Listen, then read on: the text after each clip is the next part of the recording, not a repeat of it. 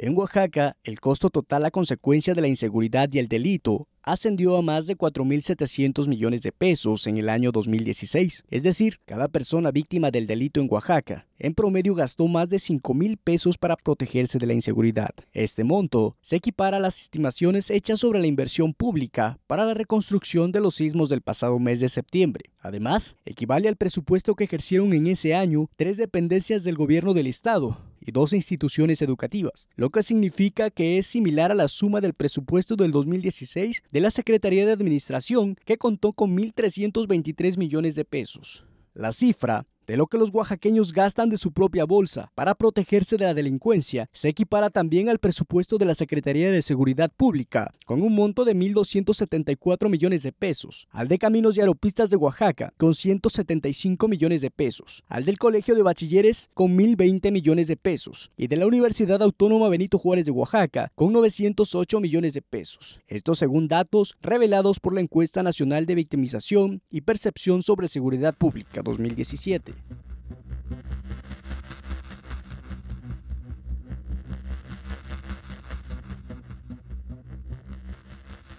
Consecuencia de ello, en promedio cada persona víctima del delito en Oaxaca tuvo que gastar 5.674 pesos, según lo estimó la encuesta de la ENVIPE que realiza el Instituto Nacional de Estadística y Geografía INEGI.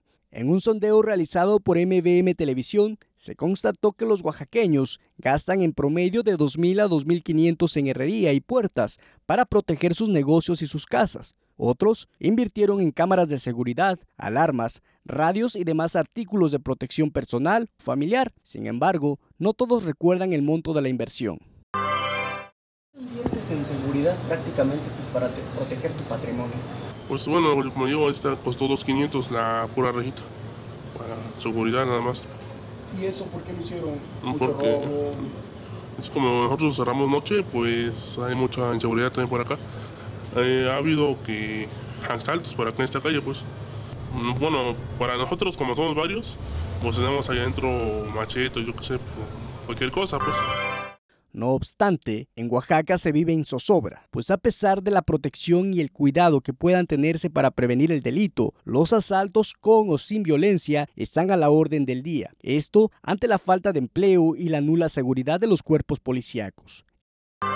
Eh, se ha invertido, contamos con lo que son cámaras de videovigilancia, eh, pues igual, marcar a, a los números de emergencia, pero yo creo que aunque inviertas algo más de seguridad, no va a haber la de malas que llegue alguien en cinco segundos. Que una tienda de cómputo fue asaltada.